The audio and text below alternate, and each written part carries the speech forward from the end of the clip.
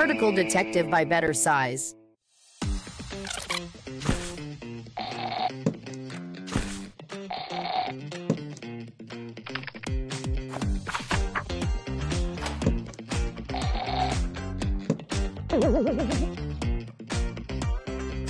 Hey Ricky, Hello, Viola.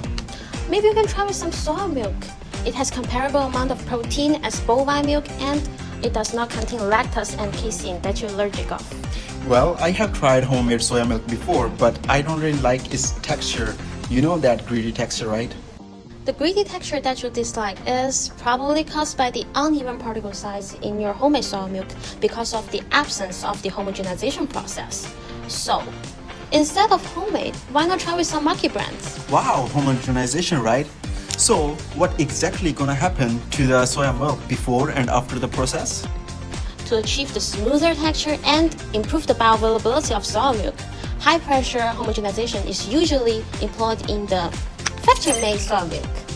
The shear and impact forces of homogenization can break down large fat globules and protein agglomeration, resulting in more uniformly dispersed particles in the soy milk. Here are two soy milk samples. First one is the homogenized soy milk, and the second Oh, one. I know. The second one is the one without the process, the controlled experimental group. Hmm, clever you. So, what's next? Hmm.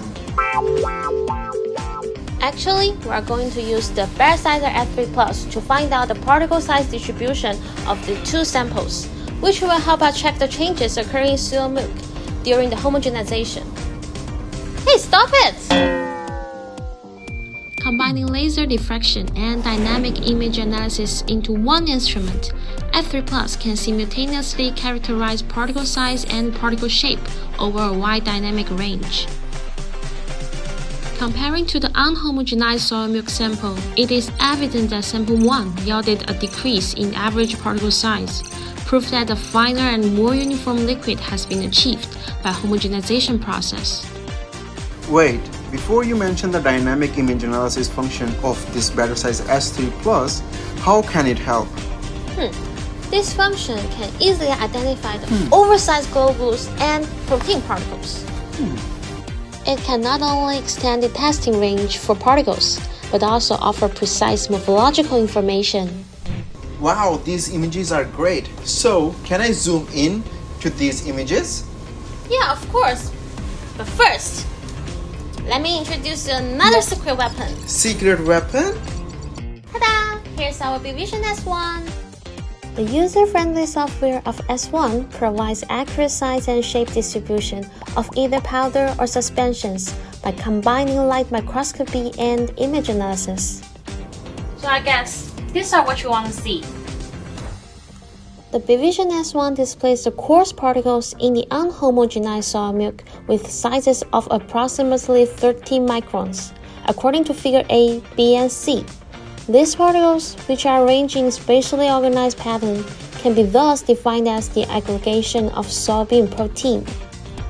Sorry, I have to pause again. Why this figure D is so blank? Hmm. Remember for the homogenized soy milk? That there is much less particles shown in the range after 1 microns, but S1 focused on coarse particles. Thus you can see only a few dots in figure D, which is corresponding to the result of S3+. Thank you so much, Viola. Now I know that homogenization is very essential in breaking down the large fat and protein particles into the smaller one. Yeah, that's why before I mentioned that the texture and the quality of the soy milk have changed a lot after the homogenization. So now you know the difference. Maybe you can try some other soy milks. Oh, I already got one. Do you want to join me? Yeah, sure. And tell me something more about the particle detective. Mm, maybe consider that.